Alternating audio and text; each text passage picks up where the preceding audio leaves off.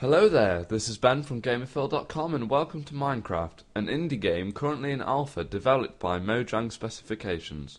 Minecraft is currently in alpha and has a lot of work to be done to it, but it has still racked up a lot of popularity. The reason for this is because, like a lot of successful games, it's simple but addictive, and to top it all off, it's currently free. The game currently has two versions, Minecraft Alpha and Minecraft Classic. Minecraft Alpha is a lot closer to the beta stage, whilst Minecraft Classic remains a simple sandbox building game that got Minecraft so popular in the first place. Today, we'll be focusing on Minecraft's free side, Minecraft Classic.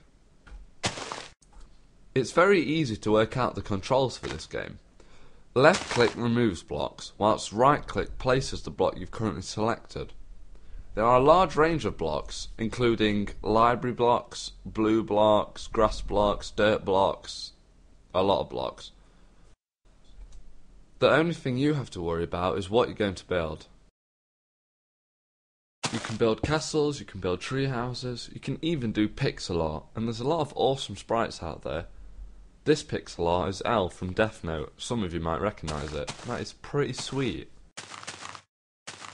Another great thing about Minecraft is the fact it's so massively multiplayer. Because the game takes up so little resources, you can easily have up to 200 people on a server. Of course, not everybody uses that many people.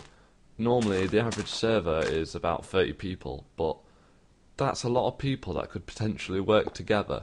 Take me and my friend, for example. We're going to build a simple house, but we're going to do it together.